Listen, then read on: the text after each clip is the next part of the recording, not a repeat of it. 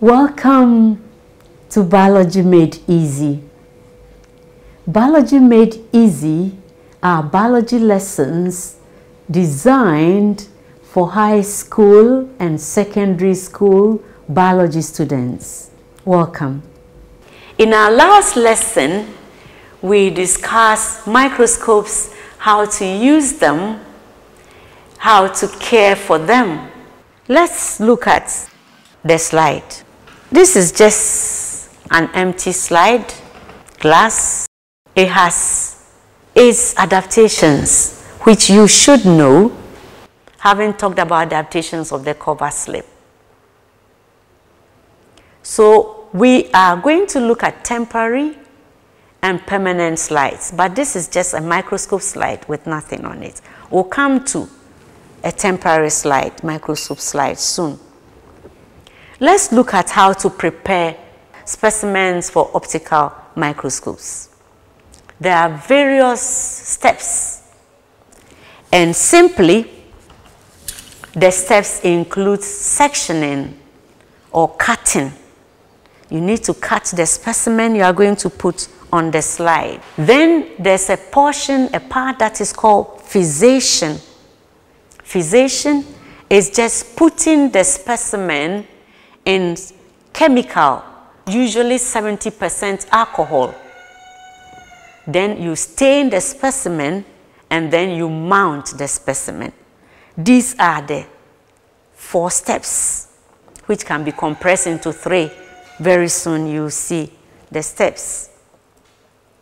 Now let's find out how we can get spec cut specimen for microscope. And you know, microscope specimens are very tiny, microscopic.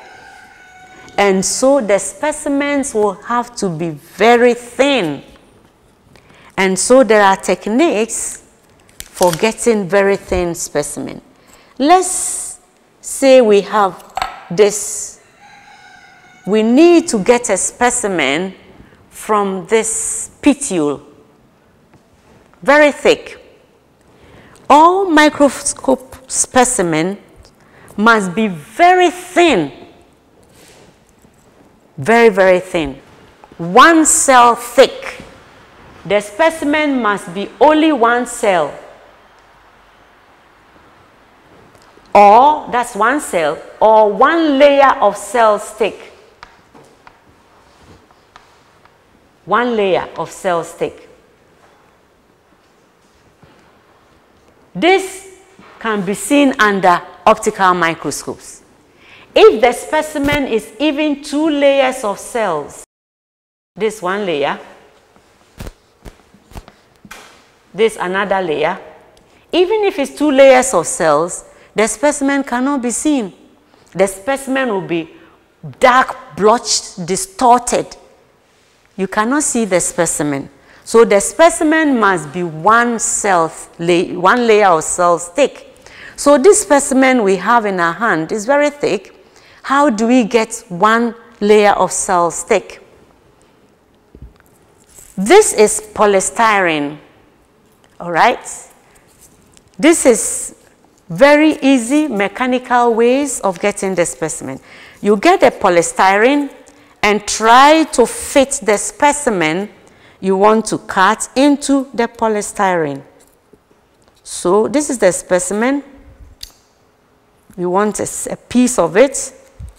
We fit it into this polystyrene just to hold it, hold the specimen in this polystyrene so that you can cut the specimen using the polystyrene as a support. The cutting thing must be very, very sharp. So I have this blade, very sharp.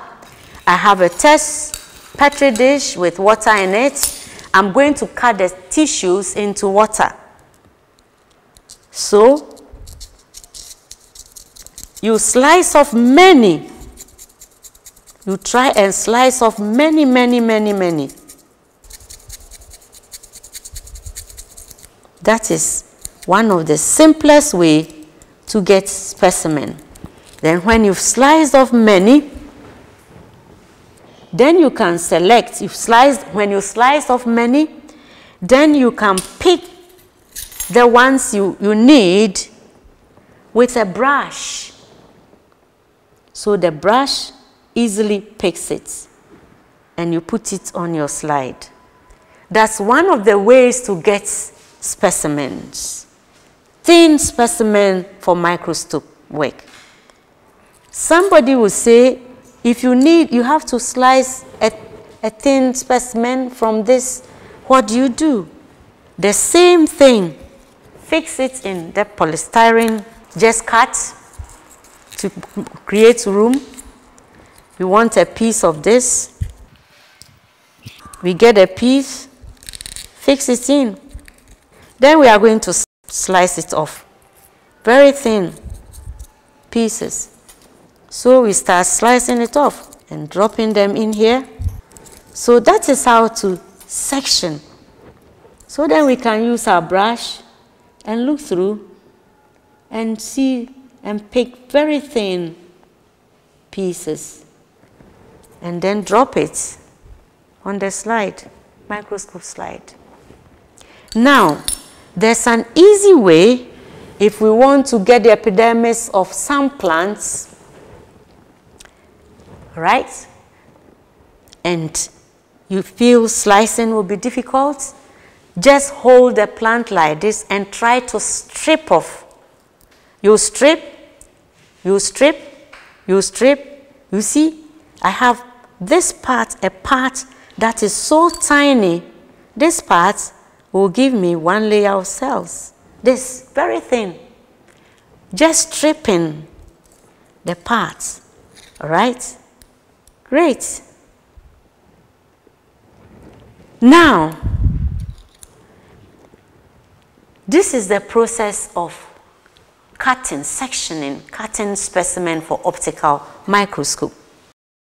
As a plant tissue, sometimes tissues are macerated actually crushed, torn apart.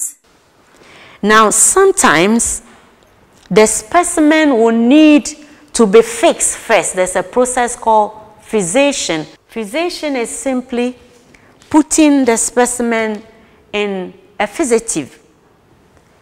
Fixative is material that will make sure that the tissue is not distorted. It tries to keep the tissue in its original form. So you are fixing the cells and the tissues in their original state before you cut. All right? And sometimes after cutting, if the specimen is thick, you do fixation after cutting.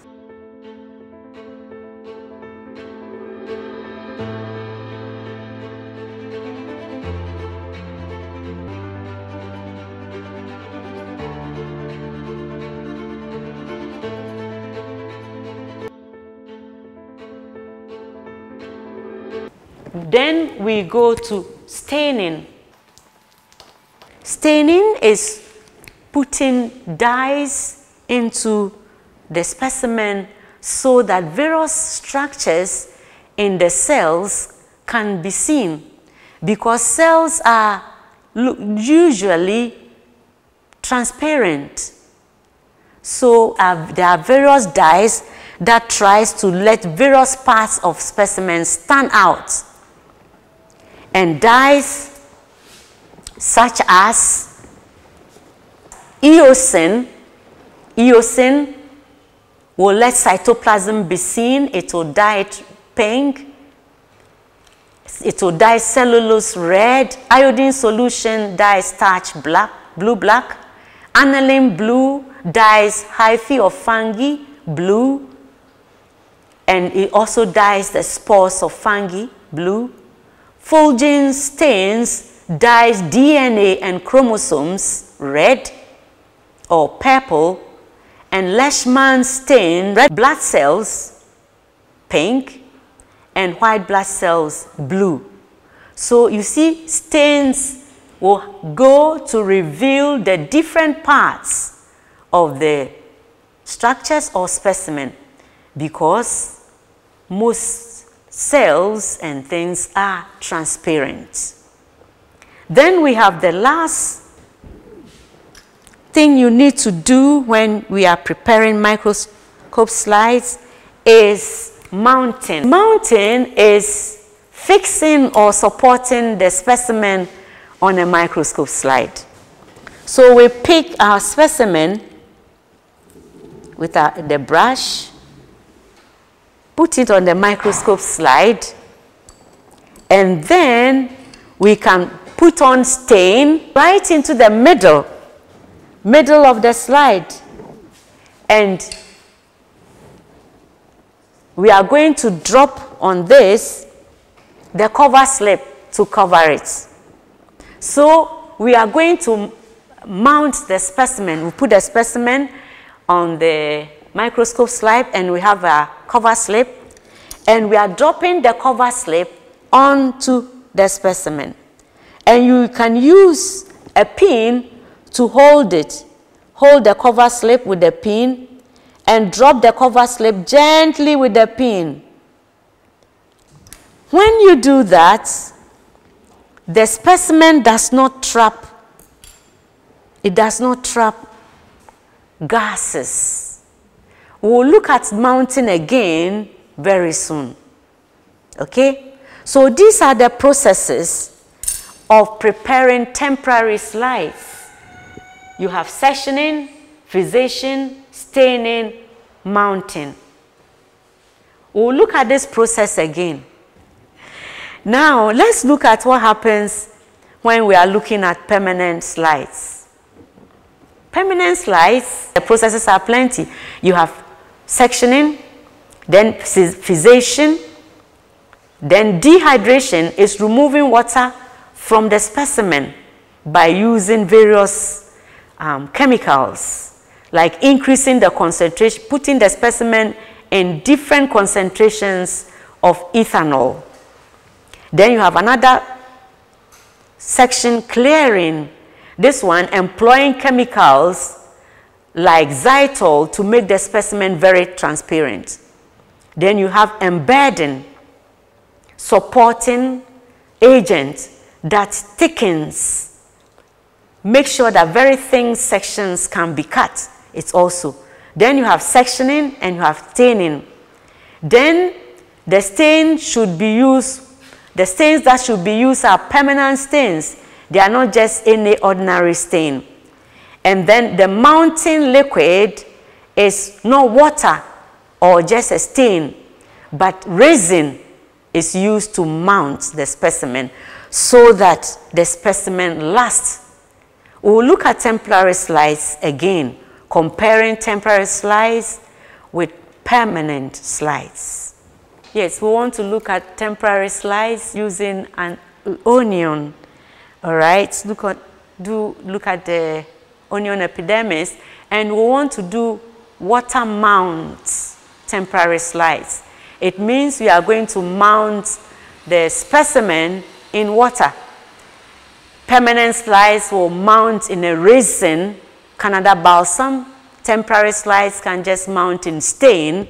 And now we are going to mount in water, meaning we are going to fix the specimen on the microscope slide with water. So to get our specimen, we can decide to cut the specimen, fixing it in the polystyrene as we discussed, or fix it here and try to get neat, cool specimens. Let's see what we can get. Or simply and fast, just hold the onion and try to strip off. You strip and you can get tiny bits at the edges that you can tear off and use. Very simple, tiny bit. So you tear it, tear it off a drop of water on the slide and your specimen in. Very quick. Our cover slip, we are going to mount it in our cover slip. Put, mount it, put our cover slip on it. So the cover slip is held like this and lowered gently on the specimen. any extra water. The there's not much water on it. We put what add water to it. Too much water on it. We use um, filter paper to draw off the extra bit of water. That is our temporary slide is ready for us to observe the specimen under a microscope. Simply put, that is our temporary slide. Now, we don't have any more time to look at the rest of our topics, the resolution, the differences between resolution and magnification of microscopes, and also differences between optical microscope and electron microscope. We didn't have time to look at that. So we'll push that into our next lesson and continue that in our next lesson. So let's have some homework. List the tools that you need to do a temporary microscope slide. List the tools and explain the use of the tools. Then two, in a tabular form, state the differences, advantages, and disadvantages between temporary slides, wet mount slides, and permanent slides. This is a permanent slide. The specimen is mounted in a resin. All right? Okay. This is a wet mount slide. It was mounted in water. Right? Good. And then you have other temporary slides that the specimen can be mounted in a stain not in water. So state in a tabular form the differences, advantages, and disadvantages between these three types of microscope slides.